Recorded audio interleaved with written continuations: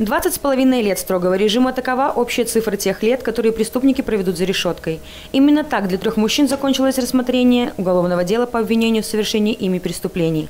Ранее обвиняемые были судимы за грабежи, незаконный оборот наркотических и психотропных веществ, вымогательство и угон транспортного средства.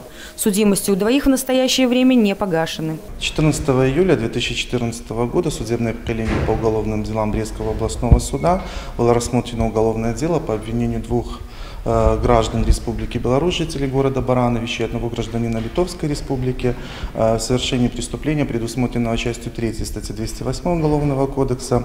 Э, они признаны виновными в требовании передачи имущества, вымогательстве под угрозой применения насилия, совершенной группой лиц по предварительному сговору с угрозой убийства и совершили вымогательство имущества потерпевшего в особо крупном размере. В ходе следствия органами уголовного расследования было выяснено, что мужчины детально спланировали вымогательство. Подобные действия уже были знакомы аферистам. В феврале 2012 года на территории Беларуси, предварительно вступив в преступный сговор, они определились ролью каждого в осуществлении задуманного злодеяния. Реализовать план бандитам, иначе их не назовешь, удалось. Расследовалось оно тоже долго, расследовалось в Минске, но э, дважды уже выносился обвинительный приговор обвиняемым судом города Барановичского района города Барановича.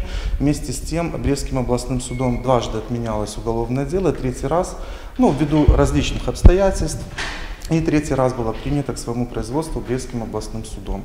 Хочу еще добавить, что в настоящий момент приговор не вступил, не вступил в законную силу, может быть обжалован обвиняемый в Верховный суд Республики Беларусь. Вынесение приговора о мере наказания преступников стало решающей точкой в долгом и нелегком расследовании. Суд вынес свой вердикт. Брещанам определено по 7 и 7,5 лет колонии строгого режима с конфискацией имущества. Литовец проведет за решеткой 6 лет. Таков печальный конец сладостных грез преступников. София Бережная, Эдуард Бакунович, Антон Луговкин, телекомпания Бук ТВ.